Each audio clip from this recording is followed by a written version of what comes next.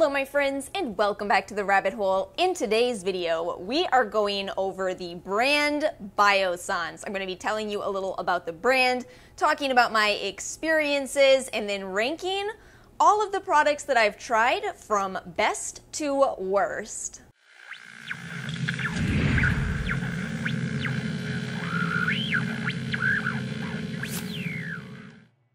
Of course, I am coming to you guys barefaced today to show you my results of using the brand Biossance, but in this particular case, this video is a, a, a, bare minimum of two weeks of usage. Some of these products I've been using for a lot longer than that, and let's be real about how long I've been raving about squalane as an ingredient on this channel, the basis of the Biossance brand.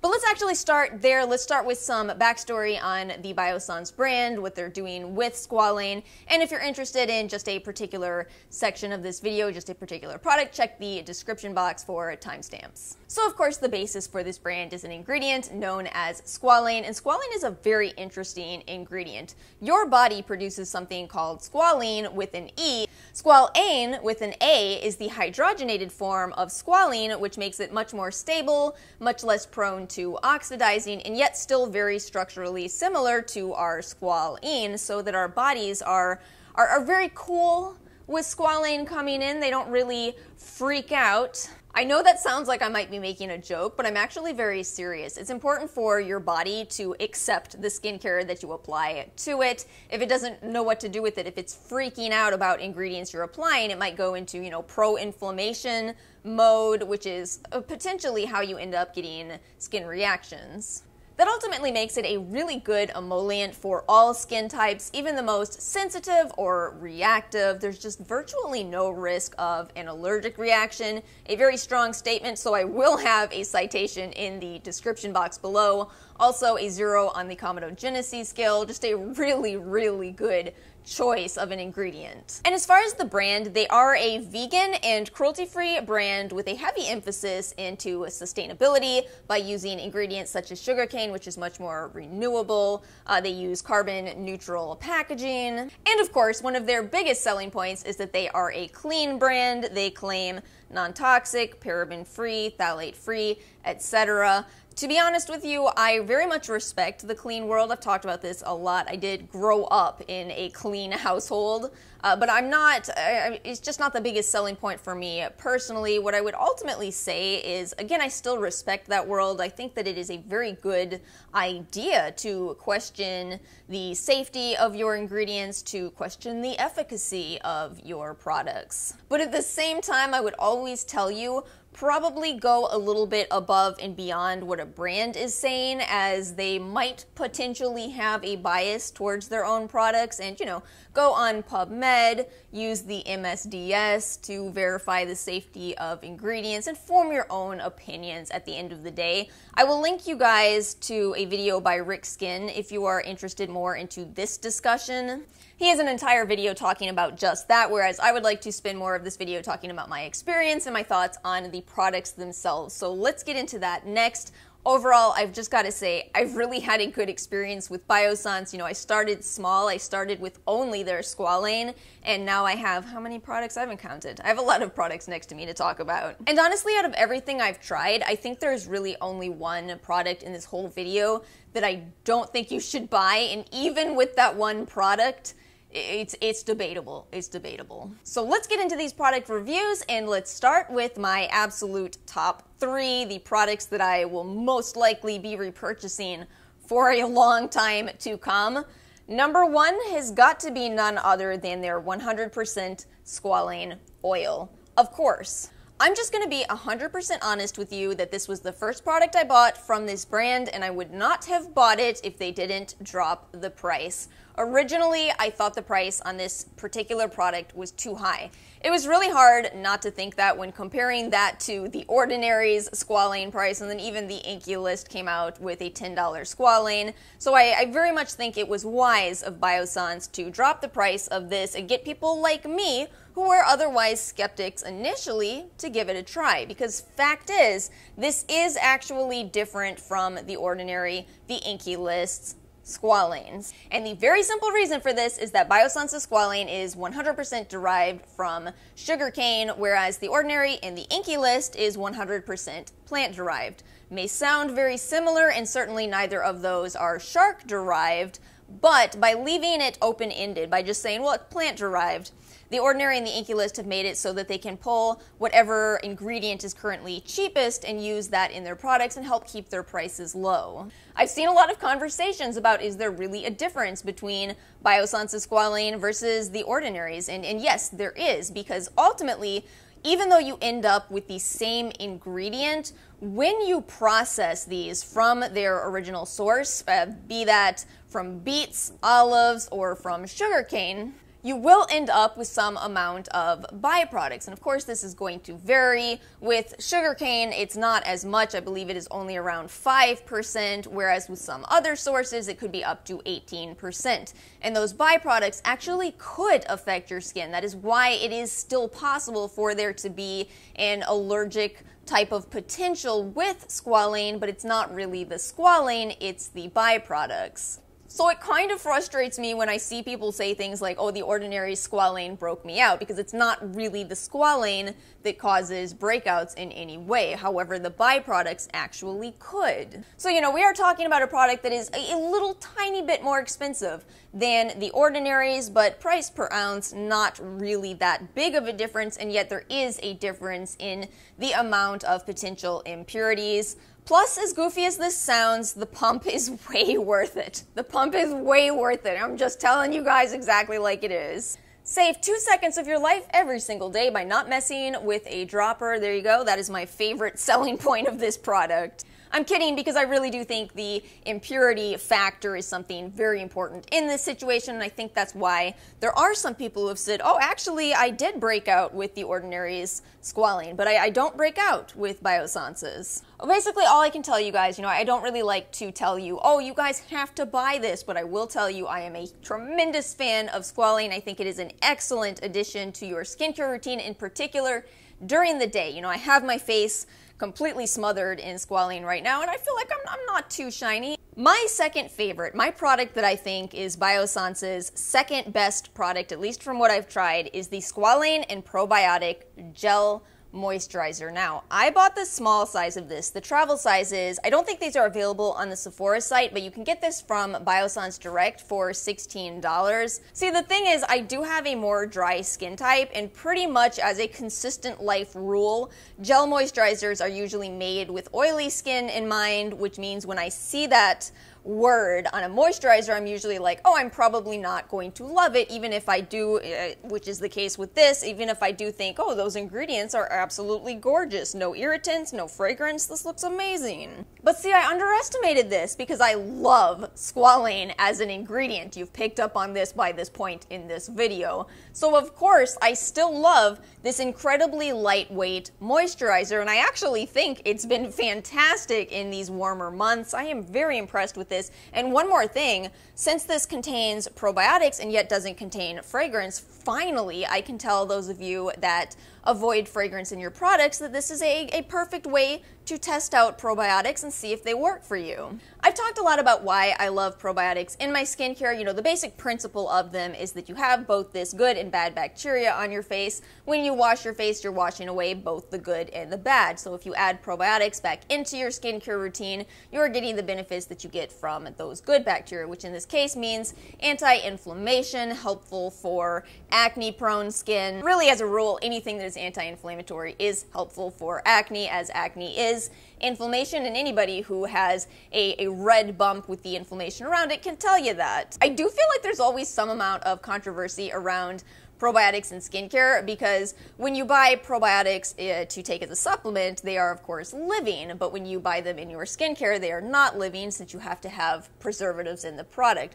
That doesn't actually mean that you don't get the benefits, though. You still get the benefits from dead bacteria. Bottom line with this, I really think this is actually a moisturizer for all skin types. And I, I, I, never say that. I never say that because how can you have a moisturizer for both dry skin and oily skin? They need such different things. And yet this one is so balanced for the skin. It's going to be especially helpful if you do deal with acne it is very well made. And next up, the Squalane and Zinc Sheer Mineral Sunscreen. Oh, I knew I was gonna love this. This is one of those that I kept adding in my cart and taking out because of the price, but I knew I was gonna love it. And sure enough, I truly think this is my favorite sunscreen for in particular dry skin. But funny enough, that's the same reason I didn't rate it above the probiotic moisturizer, which I think is for all skin types. This one does look really quite dewy on the skin, and yet it is a mineral filter sunscreen, which is very helpful if you do have a chemical filter allergy like myself. It's also 100% zinc, not everybody wants titanium dioxide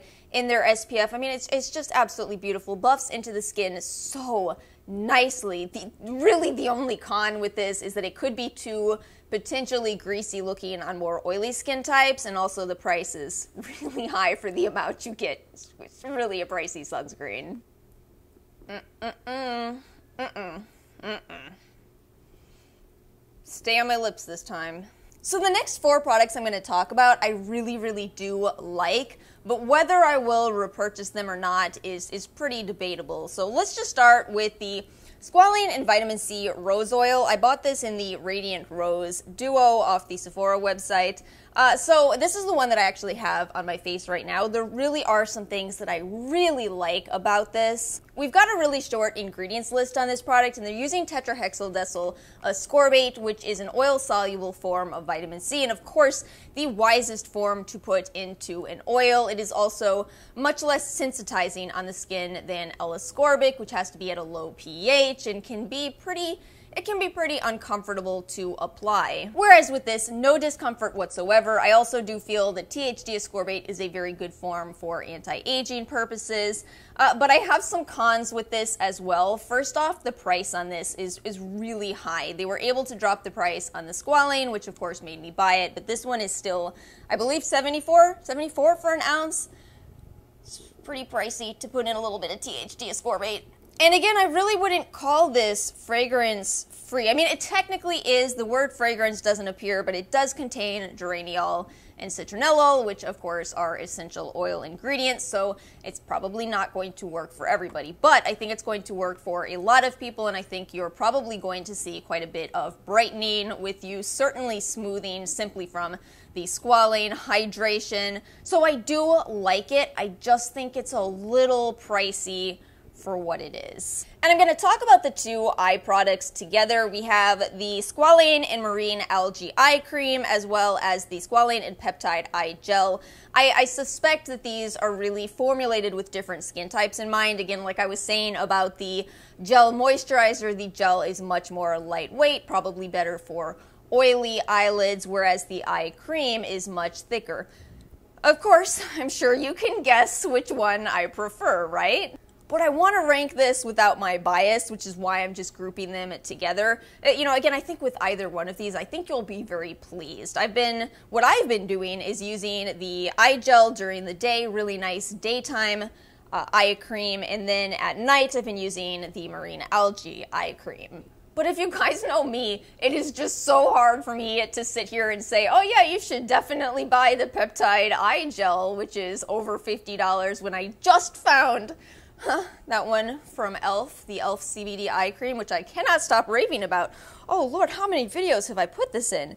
Anyway, let me get back to Biossance here. You know, I really do think it's a great eye product. I just, again, I think it's a bit pricey. And yet I don't actually feel that with the eye cream, again, potentially because my bias is playing into it, but also because even though it is a thicker texture, it is extremely easy to sheer this eye cream out. And today, that's exactly what I did. I took the tiniest amount of this eye cream. I have it all over both of my eyes, and it's perfect for daytime use if you do that, and then you could apply it more thick at night if you so desire. So I, I feel like I mean, I, I, really do prefer the marine algae eye cream just because to me it seems very flexible. In certain cases, you try some of these eye creams and you, you really you can't sheer them out. They're just very thick. Looking at you, Kiehl's, love that eye cream, but it is very thick. Whereas with this, you really can. And such an absolutely gorgeous ingredients list on, in particular, that eye cream. I really do love the addition of marine algae. I've had really good results myself with algae. I feel like it is a very smoothing ingredient. We've got peptides in here as well, no irritants in this product. And I do want to make sure I talk about the ingredients of the peptide eye gel as well. You know, it really does look great. It looks excellent, no added irritants, no fragrance, no essential oils. This one does contain some caffeine, which is excellent for any puffiness around the eye area. So again, I think either one of them are excellent choices. They're just a little bit pricey. The squalane and lactic acid resurfacing night serum facial serum with 10% vegan lactic acid exfoliates skin overnight. So I only have a sample size of this, but I, I will honestly tell you, uh, of course I like it. This is, is very consistent for me. I like lactic acid products a lot more than glycolic, just as a general rule. I loved Sunday Riley's Good Genes. I love the new toner from Youth to the People. So, unsurprisingly, I do really like this but it does contain some lavender and some essential oil ingredients. This is going to be fine for the vast majority of people. Uh, however, when it comes to lavender in particular, that one actually uh, that's a pretty common allergen as far as things as far as allergies are concerned. So I think, you know, I think this will be game changing for some people and I think some people will be wondering, why do I have tiny bumps after using this? It's going so well for so many other people. That's simply because of the allergic potential of lavender. But that, that's that's one reason number one of two as far as why I don't see myself repurchasing the full size, and it's just really simply that probably one of my most repurchased products is the Ordinary's lactic acid 10%. No, it is not as cosmetically elegant as this, but it is absolutely a fraction of the price and very similar in results. You can certainly use that overnight and then add a little bit of squalane on top. It's very,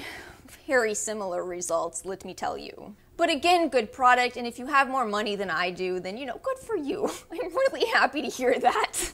Let's move on to the products that I definitely don't see myself repurchasing. I'm just gonna group together everything I bought in the Tea Tree Trio kit, but again with a giant disclaimer here. Th- these products contain not just tea tree oil, which not everybody can use, but in addition to that, they put lavender in these products.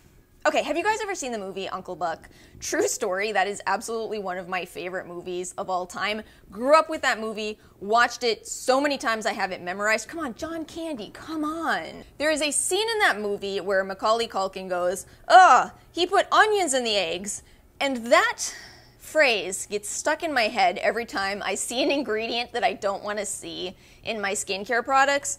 Ugh they put lavender in my tea tree oil. And we already covered the potential problem with that. Again, it's going to be fine for some people, but if you have an allergy, and some percentage of people will, then you could end up having an allergic reaction. And people don't always know, uh, you know, that what looks like acne could actually be an allergic reaction instead. So it ends up a very confusing situation. But all that said, I, I can still rank these very easily. So my, my favorite of the tea tree is the tea tree cleansing gel. It's a fine gel. It's certainly not too drying, and gels can sometimes be a little more drying. This one is definitely not. You certainly do smell the tea tree in here, and it's a wash off product, so I'm less concerned about the lavender as well as the essential oil ingredients. And then the squalane and tea tree detox mask. I actually really like this as far as masks are concerned. It's not a drying one. I, I, really, I'm not much of a clay mask person in the first place, but the drying clay masks on my dry skin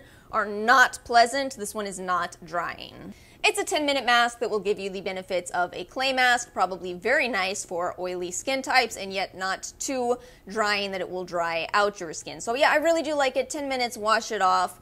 uh, you know, not as worried about the essential oils in here, and yet you are still leaving them on for 10 minutes, which is why I ranked the cleanser higher. And I'm sure it goes without saying that just because I'm, I'm making this video with an abundance of caution, the leave-on product is the one that I'm ranking last, and yet to be honest with you, it actually has been going well for me, so do keep that in mind. Oh my gosh, am I about to make this video and get this far into talking about tea tree without telling you what tea tree does? So whenever we're talking about the mechanism of an ingredient, you know, what an ingredient does, whether it's an antioxidant, whether it's antibacterial, there's always kind of a, a, range of the potency of that ingredient. And in the case of tea tree, it is an antimicrobial ingredient and extremely high on the potency scale. Tea tree oil is very, very antimicrobial to a level where if you have pets, you might want to be extra careful about your tea tree usage. I know there can be an issue with having cats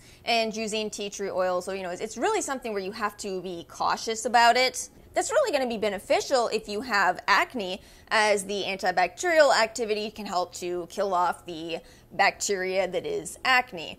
Another use of tea tree that I really don't hear about too often is that it can be really helpful for an overgrowth of demodex. And demodex are those, uh, I, I, think they're technically arachnids that live inside your hair follicle. They, they sleep inside your hair follicle during the day, and then at night they come out and have wild parties on your face. I wonder if people don't talk about this because it sounds made up. Does it sound made up? It almost does. Yeah, you have face spiders that party on your face. But I'm not making this up. I am so serious. But yeah, an overgrowth of the face spiders can obviously be very detrimental for the skin. So tea tree oil is one of the most commonly used treatments for Demodex overgrowth. I really only have two products that I'm putting in my worst category, and I, I just I have to be honest with you that the Rose Vegan lip balm is really disappointing to me personally. I had to reapply it to finish this video. It just it just disappears.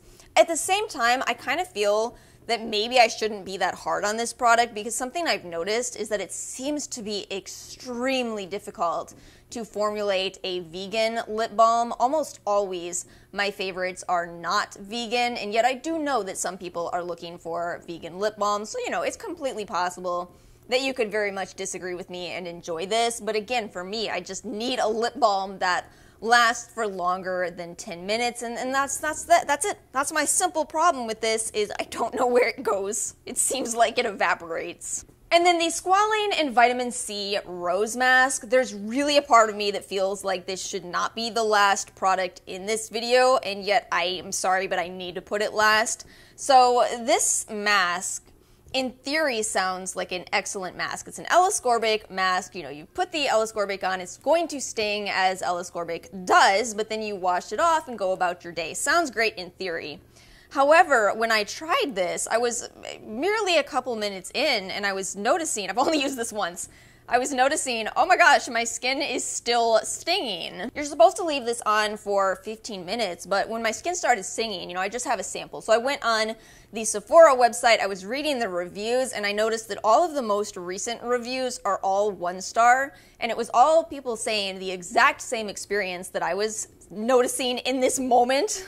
I'm sitting there with my face feeling like it's on fire, reading people saying this stings so much it stung into the next day, and I'm, I'm, thinking, okay, you know what? We're gonna wash this off. Five minutes into this thing, we're gonna wash it off. You guys, my skin was awful in the early phases of this lockdown. I'm finally happy with it. I do not want a sample product to mess it up. So I washed it off, finished my skincare routine, and sure enough, my skin was still stinging. It hurt for the rest of the day. I woke up with some bumps the next day, and I'm just thinking, what happened with this product? What is it with me and masks? It's always masks that give me disastrous results. Anyway, so I went back on the website, the Sephora website, the next day, and I was reading through more and more of the reviews, and it really got me questioning if this is a situation of bad batch theory. I was noticing that this is out of stock, and I just started wondering, oh, is this is this a bad batch? Is that what happened here? Because if you go back farther, this product has a lot of five star reviews. So, again, I cannot prove anything. This is just my theory. I had a very bad experience with this. Uh, but again, some people said this is an absolutely incredible mask. So maybe they're uh, adjusting things with it and it will come back in stock and be, you know, the, the same mask that gave people the five star results, or, or maybe my skin just really hated this as well as the last couple of reviewers. I don't know, but for the time being, I'm just pretty uncomfortable with recommending in any capacity a product that caused that reaction. But that is it. I've come to the end of all of the Biossance products that I have tried. Let me know your thoughts in the comments section below. Do you agree with me? Do you disagree? And of course, if you guys did find this video helpful, please do make sure to give it a like hit subscribe, and I will see you all next time.